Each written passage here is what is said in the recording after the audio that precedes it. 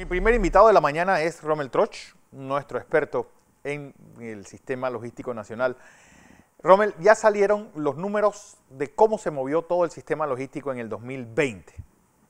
Uno de los puntos o uno de, los, de las grandes palancas que tendrá la economía panameña para crecer o por lo menos estabilizarse en este 2021. Rommel, buenos días. Buenos días, Fernando. Eh, muchas gracias por una vez más eh, permitirme acompañarte y hacer docencia en lo que es el negocio marítimo de Panamá, que yo percibo que todavía hay mucha confusión en este tema. Eh, hablo con la gente y no, no, no, nos enfocamos en cuál es la realidad de Panamá. Panamá es posición geográfica, Panamá es tránsito de barcos, Panamá es transporte de contenedores. Y en ese contexto, quisiera ver si podemos arrancar la docencia con las gráficas que tenemos eh, para presentar. Claro, porque, es decir, fue un buen año, a pesar de todo, Panamá pudo mantener ese punto o mantenerse como punto importante de todo el sistema logístico latinoamericano versus este gran puerto que se está haciendo en México, este gran puerto eh, de Buenaventura que se está pues también eh, tomando fuerza en Colombia y ahí vemos el movimiento de transbordo de contenedores. Rommel. Sí, mira, para, para empezar quisiera aclarar eh, lo siguiente. Eh, Panamá tiene una competencia regional en el transbordo de contenedores y son aquellos países especialmente que están más cerca de las rutas del canal o en la ruta del canal o cerca de Panamá en la entrada del canal, como es el caso de Cartagena. El competidor más grande de Panamá eh, en transbordo es Cartagena, en Colombia. Tocaste Buenaventura, es cierto, Buenaventura hace 10 años solo tenía una terminal, hoy día tiene tres terminales de contenedores y hay un operador local y dos operadores internacionales. Igual ocurre en Cartagena, en Cartagena en Colombia hay un operador local y hay operadores internacionales que han entrado en los últimos años. Sin embargo, Cartagena es el que más compite con Panamá y el que más le resta carga a Panamá. Habiendo dicho eso, la gráfica que vemos, este, eh, en la gráfica que tenemos, eh, marca bien que Panamá es el líder absoluto en el transbordo de contenedores.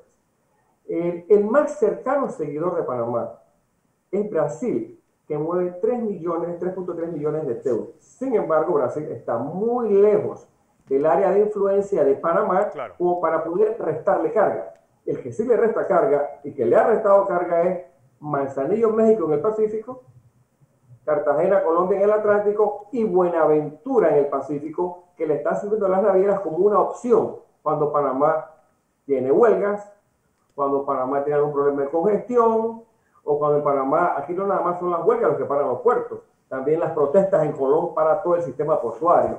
Porque tenemos que aclarar algo, las navieras ven a Panamá no como un puerto, como dos puertos. De hecho, las dos navieras más grandes del mundo llegan a Panamá hoy día y ambas recalan en el Pacífico y en el Atlántico. Ambas utilizan el ferrocarril o el sistema de camiones para manejar carga eh, interportuaria que no viene para Panamá, sino que usa el, el Land Bridge o el, canal seco de Panamá para, para abastecer el Caribe sin que sus barcos crucen el canal de Panamá. Esto casi medio millón de contenedores debió ser más de no haber habido pandemia o era el crecimiento esperado que tenía la, mercancía, este transbordo de contenedores para este año 2020? Bueno, eh, eh, es un buen punto. Eh, mira, el crecimiento de medio millón de TEUs de transbordo representa un 8.8% de crecimiento. los meses más flojos fueron julio, agosto, septiembre, y ya para octubre, noviembre y diciembre estuvo recuperando la carga. Eh, la carga local, que es la que nosotros consumimos o exportamos, esa carga cayó 25%. Pero no le hizo, como decimos, no le hizo mella al crecimiento de transbordo y aún así los puertos panameños crecen 5.8%. ¿Quién lleva el crecimiento al hombro? El transbordo de contenedores. Ayer conversaba con alguien y le decía eh, a un grupo de estudiantes de una universidad, me estaba dando una charla, hace 25 años los negocios más importantes de Panamá Marítimo eran el canal de Panamá y la venta de combustible a barcos. Hoy día, el segundo negocio más importante de Panamá es el transbordo de contenedores o el negocio portuario, porque el negocio portuario se desarrolla solamente para el transbordo de contenedores. Y amén que beneficie a todas las importaciones y exportaciones panameñas. El crecimiento que Panamá tiene se da más que todo en el Atlántico. Panamá registra más de 4 millones de, de en el Atlántico este año. Eh, el Pacífico ha crecido menos, tiene menos capacidad portuaria. El ingeniero Blandón, que lo escuché hace un ratito, apuntaba muy bien el tema de, de las industrias que han sobrevivido y han eh, fortalecido la economía panameña en pandemia, han crecido en pandemia, lo que demuestra la fortaleza de nuestra posición geográfica. Panamá sirvió como centro de acopio para transporte de contenedores para toda la América Latina. Y ahí iban, allí en esos contenedores se transportaban medicamentos, alimentos, todas estas cargas que se requirieron en pandemia y que tuvieron mucha demanda durante la pandemia que todavía no ha terminado. Las navieras, algunas con las que he conversado, pronostican un primer semestre de crecimiento para Panamá en el, en el renglón de transporte. Eh, no podemos adelantarnos al segundo semestre, pero se espera un buen crecimiento de transbordo. Inclusive el canal en una conferencia que vi también espera un buen primer semestre en aumento de tránsitos eh, eh, por bar, por el canal de Panamá. ¿Cómo se puede adaptar nuestros puertos a guardar gas licuado, que parece que va a ser el producto estrella, por lo menos en los tránsitos del canal de Panamá? Bueno, mira, es un tema interesante el tema del gas licuado, pero para eso primero habría que medir más la demanda de cuántos barcos eh, eh, podrían utilizar el, gas para como combustible. Ya hay tecnologías que están eh, desarrollándose para barcos a base de, gas licuado. Mira, la fortaleza de Panamá, hace unos años, nosotros, 25 años atrás decíamos, Panamá, por Panamá solo pasan barcos, no paran, no dejan negocio en Panamá, sobre el canal de Panamá. Ahora decimos, por Panamá pasan mucha carga de transbordo, pero no logramos darle servicio a esa carga. En realidad el futuro de Panamá está en poder explotar lo que ya tiene y que ha demostrado fortaleza para crecer. Claro. El transbordo de contenedores te permite desarrollar el hub logístico para dar servicios de valor agregado a la carga. Esa es la fortaleza de Panamá, vender logística. No nada más la logística interna nuestra, nuestra carga, la que consumimos, exportamos, no. Venderle logística a la carga que va para otro país, que pasa por Panamá y va hacia otro país. Mira, en Jebel Dubái, el hub logístico de Dubái genera 150 mil empleos. Y la gran mayoría de ellos no son de Dubái tienen que ser empleos eh, eh, a extranjeros porque la población en Dubái no es suficiente para atender esa demanda. Eh, es importante acotar también que Panamá está en esa ruta, en desarrollar el, logístico de las Américas. En ese contexto, siguiendo las palabras del ingeniero Blandón, hay que apuntalar más el sistema portuario, fortalecerlo y caminar en esa dirección. Desarrollar el hub logístico de las Américas con la estrategia logística, donde está muy claro, hay que crear una institución que lidere la logística. En Panamá nadie lidera la logística y queremos crear el hub logístico de las Américas. Yo creo que el primer paso es nombrar un líder, un campeón, una institución, crearla o modificarla para que sea el líder en el desarrollo marítimo y logístico de Panamá. Don José Blandón Rommel está con nosotros. Buenos días, ingeniero Troch. Eh, un placer eh, hablar con alguien que forma parte y que conoce uno de los sectores eh, que impulsa nuestra economía. de acuerdo a la información que yo tengo, ingeniero, el Canal de Panamá nos informó que este mes pasaron 59 barcos de gas natural por el canal ampliado. Pero yo me quiero detener es que el negocio más importante para nosotros es desarrollar y que desarrolla empleo y que desarrolla eh, ingresos para nosotros, es la carga contenerizada que podemos bajar y subir en este país. Actualmente, en la historia nuestra, en el 90, tan, temprano como el 90, manejábamos 150 mil TEU por año. Hoy estamos por encima de, ¿qué sé? casi llegando a los 7 millones. Casi llegando 7 millones para redondearlo. Entonces, nosotros tenemos que apostar a eso. ¿Usted cree que es realista pensar que en los próximos 10 años nosotros podemos duplicar eh, el manejo de contenedores, que en la práctica significaría hacer esto eh, a una velocidad que nos permita a traer interacciones, porque el negocio de nosotros está ahí y tenemos suficiente capacidad instalada de puertos para eso. Lo que necesitamos es tener mayor capacidad para manejar y transitar carga y tener un mejor, mejores, mejores centros de acopio y generar carga para nosotros, porque hay un cliente positivo nuestro que está en el Caribe, que es todo el área del Caribe a la cual nosotros debemos servir. Bueno, ingeniero, mire, eh, usted ha dado, en, yo diría, como decimos en panameño, en el clavo. Eh, eh, en esa misma dirección, en Panamá están los expertos portuarios globales. Toca, ¿Qué toca hacer? Bueno, llamar a los operadores portuarios que están en Panamá y decirles justamente la pregunta que usted apuntalaba. ¿Cómo hacemos para llegar a 15 millones de TEUs en los próximos años? Para mí hay mercado. Yo lo he visto, lo he escrito en, varios de mis escritos que he publicado. He explicado cómo está el mercado de transporte para atraer a Panamá. Sin embargo, los operadores portuarios tienen la palabra.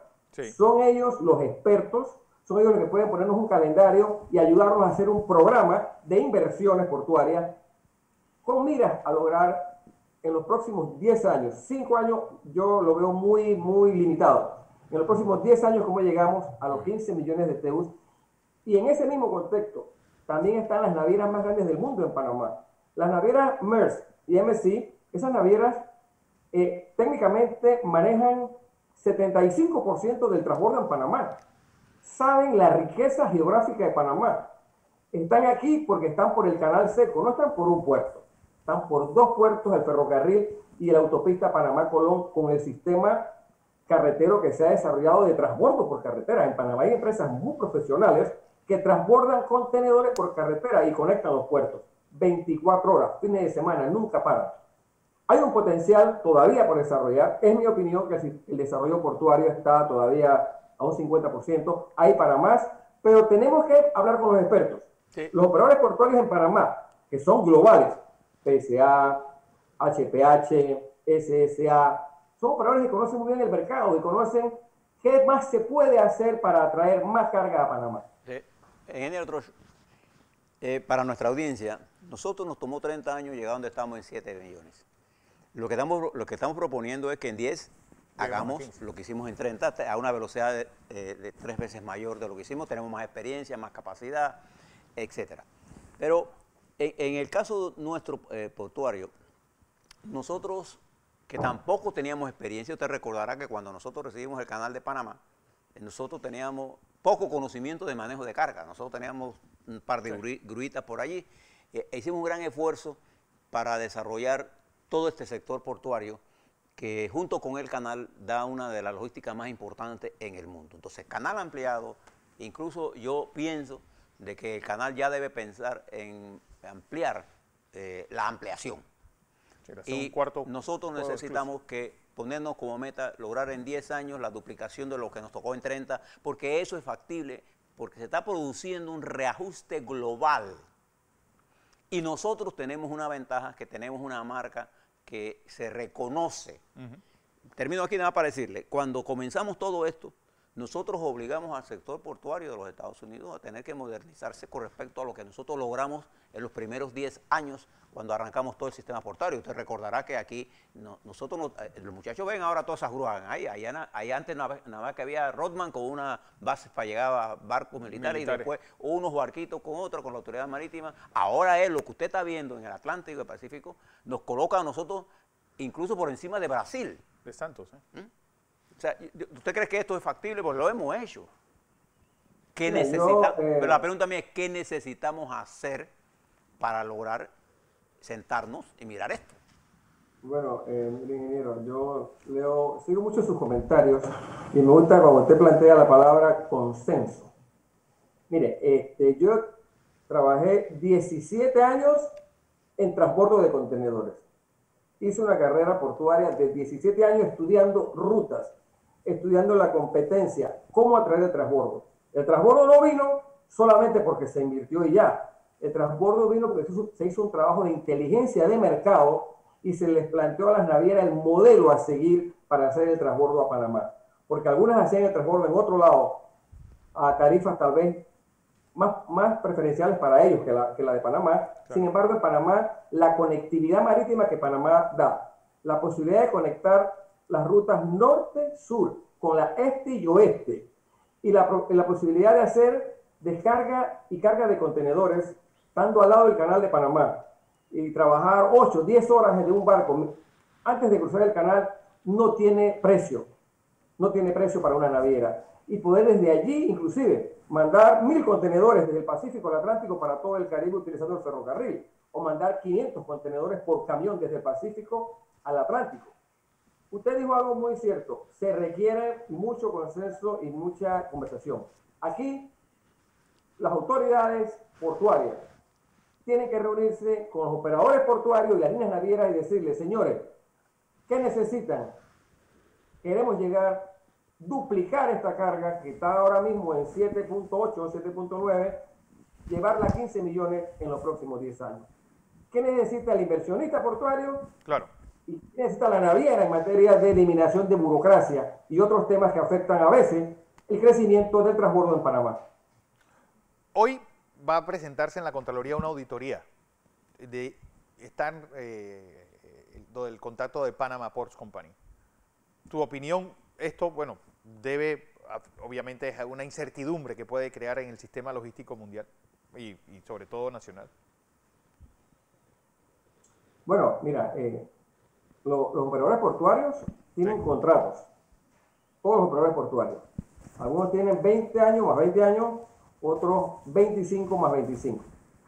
Mi opinión es que justamente en este momento en que el país requiere atraer la inversión privada, atraer la inversión internacional, generar inversión extranjera, eh, hay que tener mucho cuidado con eso y hay que respetar la seguridad jurídica. Este es el mensaje que debemos llegarle al, llevarle al mundo.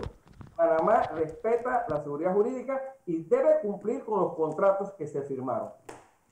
Porque se sabe cuánto es en el PIB el clúster logístico panameño.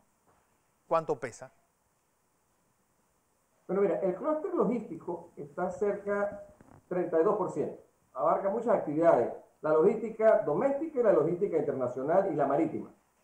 Eh, sin embargo, lo que es actividad marítima pura, Canal de Panamá, sistema portuario y todo lo que es valor agregado que se le da a, servicios que se le venden a, los barcos, eh, se le vende chip channeling, eh, suministro, combustible, toda esa parte es cerca del 12% del sistema marítimo panameño, de lo que genera el canal, puerto y todo el conglomerado que se ha desarrollado en las riberas del canal para atender 14 mil barcos que pasan anualmente, 13 mil, 14 mil, y para atender estos 15 barcos que llegan a puertos todos los días, a los cinco puertos panameños que están en esta zona. Y para atender ese, esa carga que tú ves, que viene una variedad enorme de cargas, carga peligrosa, eh, carga refrigerada, carga sobredimensionada, todo tipo de carga. Todo ese conglomerado está en el 12% del Producto Interno Bruto. Bueno, Rommel Trosch, gerente de BF Search, eh, gracias por estar con nosotros. Gracias a ti. Así es.